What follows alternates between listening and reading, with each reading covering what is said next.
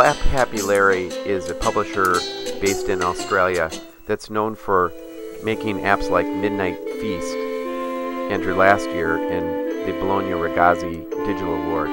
This year's entry is equally interesting. It's called Hilda Bewildered, and it's the story of a young princess and her feelings about speaking in public. The reason I'm making this video is the this particular app uses some very interesting techniques for pulling you into the narrative of the story.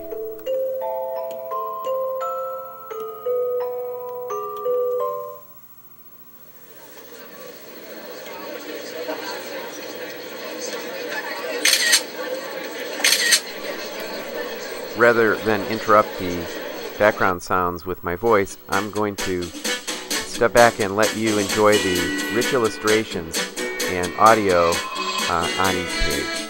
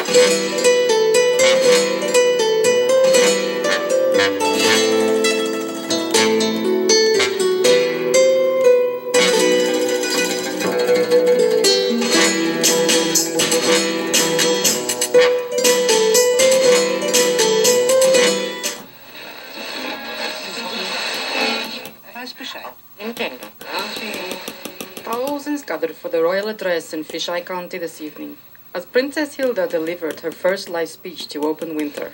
Three arrests were made for disorderly behavior in the crowd, but police are still looking for any witnesses who may have seen a member of the public scale the castle wall. Further information on the nature of the crime has not been released, though speculation from insiders suggests the crown jewel has gone missing, possibly stolen during the pre speech celebrations.